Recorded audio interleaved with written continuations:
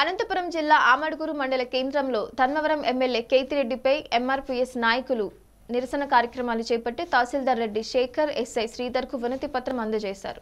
ఈ సందర్భంగా వారు మాట్లాడుతూ జిల్లా కలెక్టర్ గంధం చంద్రుడిపై ధర్మవరం ఎమ్మెల్యే కేతిరెడ్డి గారు చేసిన అనుచిత వ్యాఖ్యలను ఖండిస్తున్నామని వెంటనే కలెక్టర్ గారికి క్షమాపణ చెప్పాలని డిమాండ్ చేశారు. ఈ కార్యక్రమంలో ఎంఆర్పీఎస్ నాయకులు గంగులప్ప నరసింహులు నవీన్ సురేష్ రవి పాల్గొన్నారు. కూడా తప్పని చెప్పేసి మేము కూడా నిన్న వ్యక్తం వ్యక్తం చేసినాం ఆ విధంగా నడుస్తుంది ఎవరైనా చేశారు సార్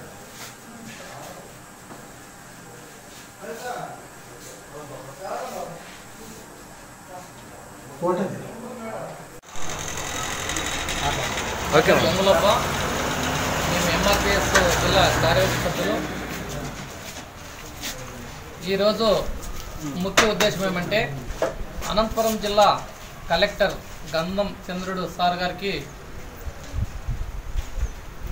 ధర్మవరం ఎమ్మెల్యే కేతిరెడ్డి వెంకటరామరెడ్డి గారు మన జిల్లా మేజిస్ట్రేట్ కలెక్టర్ గారిని అనుచిత వాక్యాలు రాయలేని విధంగా తిట్టడము మేము ఖండిస్తున్నాం.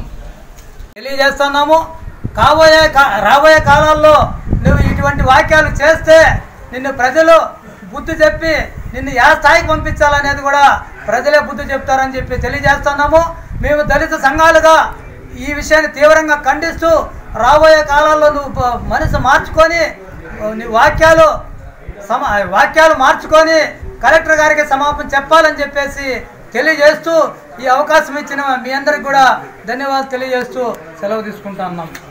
అనంతపురం